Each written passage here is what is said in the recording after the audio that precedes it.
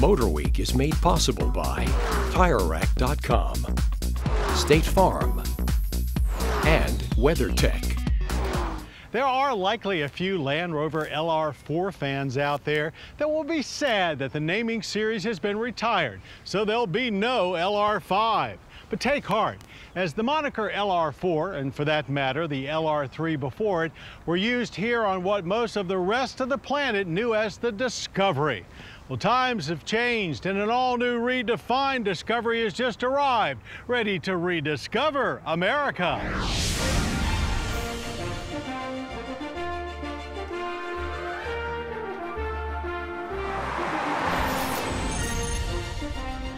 From 1994 to 2004, the first two gens of the boxy, mostly no-nonsense Land Rover Discovery made a lot of impressions stateside. But due to quality issues, many of them were bad ones. Hence the name change to LR3 and LR4. But with those black marks, ancient history, and SUVs increasingly taking the place of comfy family cars, it seemed a good time to introduce the fifth generation Discovery to Americans by its proper name. And what we Yanks will discover is one very attractive and friendly SUV. There are, of course, still some traditional elements, such as the clamshell hood and a hint of past Discovery's stepped roofline. But overall, the look is clearly softer, more modern, appearing not too dissimilar from the big buck Range Rover. And just to muddy the waters further, the middleweight Discovery shares virtually nothing with the smaller Discovery Sport. Rather, it's built around the same aluminum structure of the aforementioned Range Rover.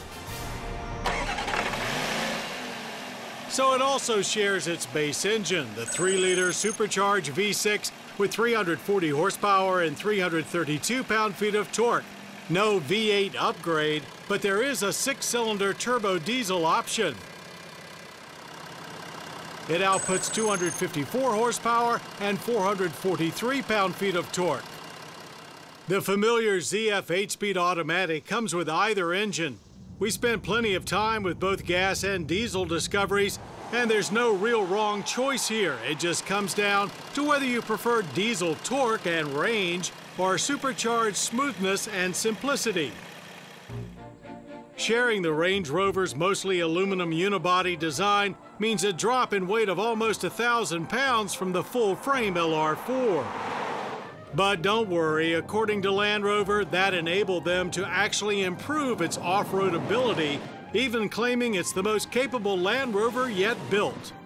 Land Rover also says Discovery was designed for the modern family from the inside out, with loads of extra storage space, up to nine USB ports, and InControl Wi-Fi. Second row seating is still a little more cramped than some rival crossovers, but our tester had optional headrest monitors in place to distract from the awkward seating position. Seven passenger seating is optional and the third row is actually usable.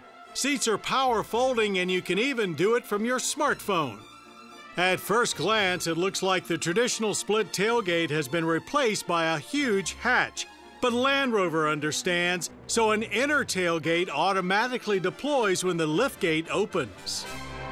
It was the diesel-powered Disco that we took to our test track.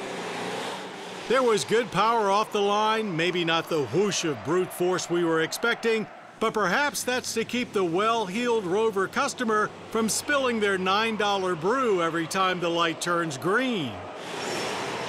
It was enough to get us to 60 in 8.1 seconds and through the quarter mile in 16.1 at 86 miles per hour. Despite big jumps in suspension technologies, the handling course is still not a place that any Land Rover feels the most comfortable. Even with the optional air suspension, there is plenty of soft, slow roll, accompanied by very quick steering that keeps you on your toes. Still, it's miles better than its predecessor. Government fuel economy ratings for the petrol-powered Discovery are 16 city, 21 highway, and 18 combined. The diesel rates 21 city, 26 highway, and 23 combined. We average 25.8 miles per gallon. The diesel also has the better energy impact score at 16.6 barrels of annual oil consumption with CO2 emissions of 7.4 tons. Base pricing of $50,985 is very competitive with other European offerings, especially since here four-wheel drive is standard. The diesel engine tacks on $2,000 more. The 2017 Land Rover Discovery is a highly capable SUV, perfect for tackling town and country with equal finesse. It may be built in the UK, but it certainly seems like it was made just for us here in the colonies, sort of embodying what the Jeep Grand Cherokee tries to be a proficiently rugged yet luxurious all road driving experience.